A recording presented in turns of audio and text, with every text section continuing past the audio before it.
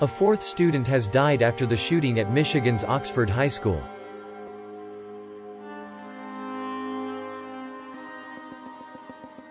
Authorities look for possible motive behind 15-year-old shooting suspect. Here's what we know.